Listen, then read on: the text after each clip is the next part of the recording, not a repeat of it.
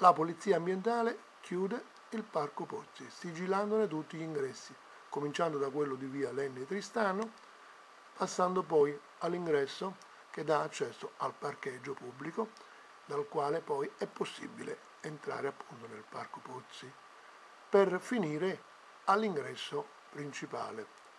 La ragione la chiediamo all'autore del sequestro.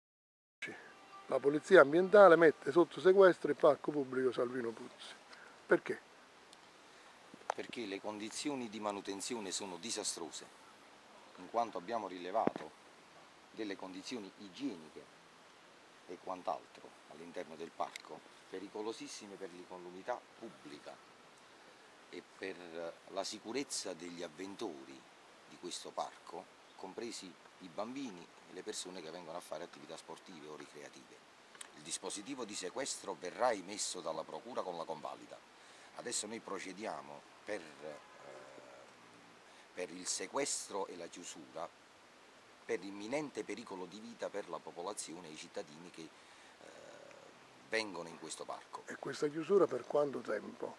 La chiusura sarà... poi sarà l'autorità giudiziaria a stabilire se il provvedimento di sequestro effettuato da noi con la notifica sarà valido e eh, disporrà poi eh, tutte, le, eh, tutte le autorizzazioni in merito per poter procedere a ripristinare lo stato dei luoghi. Quindi la Procura potrebbe decidere anche che il sequestro non è valido? La Procura è un'autorità giudiziaria, quindi noi presenteremo l'esposto eh, con il provvedimento di sequestro, la quale è già stato avvertito il magistrato di turno intanto, dove ha, ehm, ha disposto il sequestro ehm, che seguirà poi la notifica. Quindi c'è stata un'autorizzazione del magistrato a fare effettuare questo sequestro? Sì, c'è stata un'autorizzazione perché la Procura è stata avvertita dal magistrato di turno eh, di questa gravissima situazione, eh, la quale ha consigliato di provvedere alla chiusura del eh, parco e quindi eh, alla, alla, conseguente notifica eh, di tutti i rilievi videofotografici del verbale di sequestro disposto da noi. Naturalmente noi siamo agenti di polizia giudiziaria, quindi ehm, riferiremo alla Procura di tutte le, le mancanze e le inadempienze ehm, in relazione a questo parco e alla sua manutenzione. Non per fare polemiche, ma siccome negli ultimi giorni si è letto una dichiarazione del sindaco quale si, dalla quale si evince che queste azioni che sta facendo la polizia eh, ambientale sono finalizzate a ottenere qualcosa dal comune che non avrebbe concesso. Eh, come possiamo chiarire questo aspetto nell'ottica di quella osservazione precedente, cioè che se questo potrebbe pur non essere convalidato? Non è di nostra competenza a questa situazione riguardo alla convalida del sequestro, in quanto noi come attività di polizia giudiziaria presentiamo eh, tutte le fonti di prova, raccogliamo tutte le fonti di prova e le presentiamo alla magistratura, la quale sarà poi lei a decidere in base nostre, alla notifica delle nostre fonti di prova che, eh, che provvederà poi al sequestro. In relazione invece alla polemica che si è venuta a creare con l'amministrazione comunale, noi abbiamo presentato storicamente un esposto ehm, che consiste nella, mm, in un protocollo d'intesa eh, sempre a titolo di volontariato eh, con il Comune in merito alla collaborazione per rendere più vivibile questa città.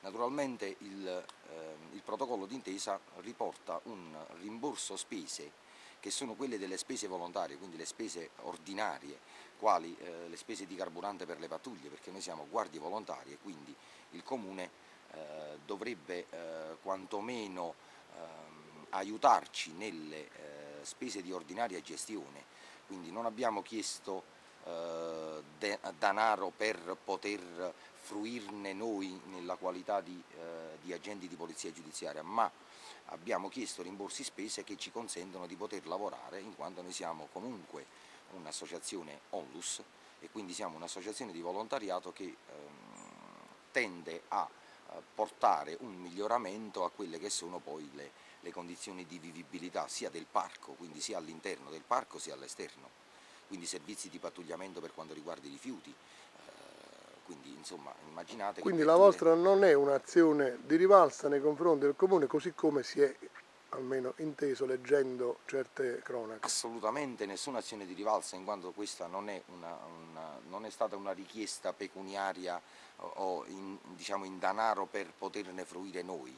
Noi siamo un'associazione di volontariato, quindi i rimborsi irrisori, eh, se così possiamo dire, delle spese di gestione eh, che riguardano il pattugliamento della città di Aversa in materia di eh, smaltimento illecito di rifiuti ambientali, maltrattamento animale, abusivismo edilizio e quant'altro nelle nostre competenze, eh, risultava solo nel, in questi famosi rimborsi spese irrisori che servono a noi per poter gestire questa attività.